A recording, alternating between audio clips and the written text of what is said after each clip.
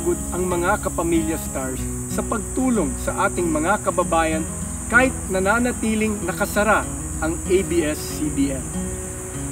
Si Kim Chu, dalawang buwan ng patuloy na tumutulong sa nangangailangan. Sa kanyang Instagram, nagbabahagi din siya ng mahalagang tips kung paano manatiling malusog para labanan ang COVID-19.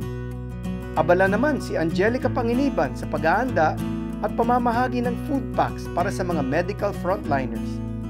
Si Angel Locsin hindi pa rin tumitigil sa pagtulong. Matapos makapagpatayo ng mga isolation at sanitation tents, binuhay ulit ni Angel kasama si Ann Curtis ang Shop and Share Project kung saan maaring magbenta ng gamit ang mga artista. Ang proceeds ng proyekto gagamitin sa pagbili ng COVID-19 test kits. Kapamilya is forever! Kaya hindi kami mawawala sa inyong tabi. Salamat sa lahat ng frontliners! Laban!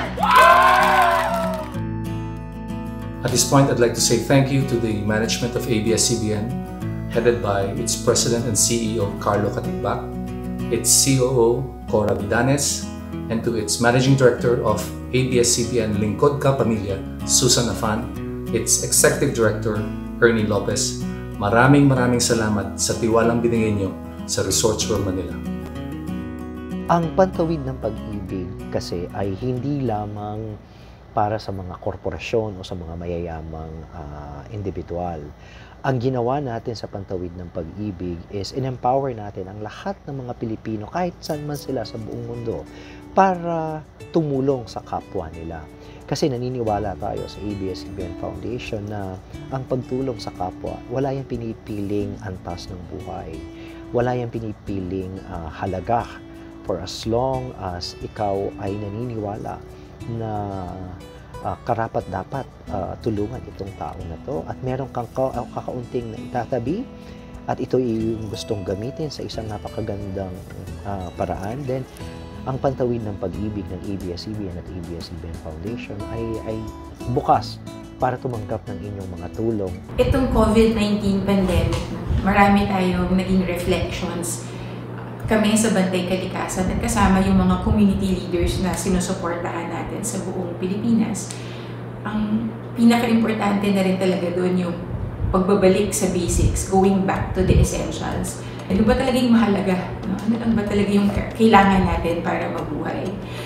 So, dun din na-underscore or na-emphasize yung kahalagahan ng sapat at malinis na pagkukunan ng tubig, sapat at uh, malinis na kalupaan kung saan pwede tayong magpatubo ng pagkain na kailangan natin para at the end of the day, walang magugutom.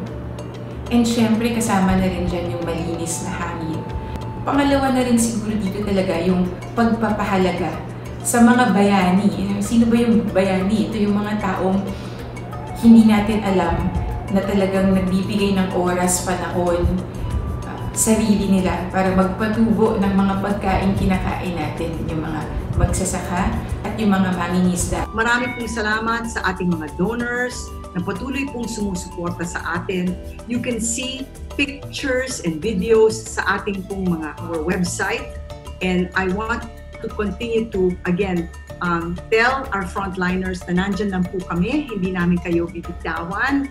And at the same time, sa lahat po ng donors natin na patuloy na nagtitiwala, uh, isinisiguro ko po sa inyo na nakakarating po sa ating frontliners ang inyong tulong. Hindi ito madaling episode para sa amin dahil naka-shutdown ngayon ng ABS-CBN pero hindi naka-shutdown ang operations ng ABS-CBN Foundation, hindi naka-shutdown ang puso ng mga taong tumutulong sa amin, hindi naka-shutdown ang mga kumpanya at ibang individual na sumusuporta sa ABS-CBN Foundation at sa ibang mga subsidiaries namin tulad ng Bantay Kalikasan. At hindi rin naka-shutdown ang puso at katawan ng mga stars namin para tulungan ang aming kapwa-tao. Alam ko na mahirap tong pangyayari, pero alam ko as long as we continue to help others, tutulungan din tayo ng Panginoon. Let's close this episode with a word of prayer. Panginoon Diyos, maraming maraming salamat sa napakaraming pagpapalay ninyo sa buhay namin. Alam namin, Lord, madilim at masakit at mahirap ang aming hinaharap ngayon at hindi lang sa amin dito sa ABS kundi sa aming mga kababayan. Tulungan mo kami para matulungan namin ang mga nangangailangan sa aming mga kababayan, mga nangangailangan ng tulong sa pagkain, nangangailangan ng mga PPE, mga supplies, mga tent, ano man ang pangangailangan ng aming mga kababayan, tulungan mo kami na makatulong kami sa kanila at naniniwala kami Lord, walang pwedeng pumigil, walang pwedeng mag-shutdown sa puso na nais maglingkod para sa inyo.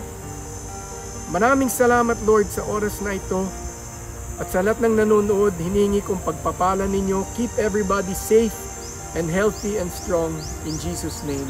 Amen. Salamat.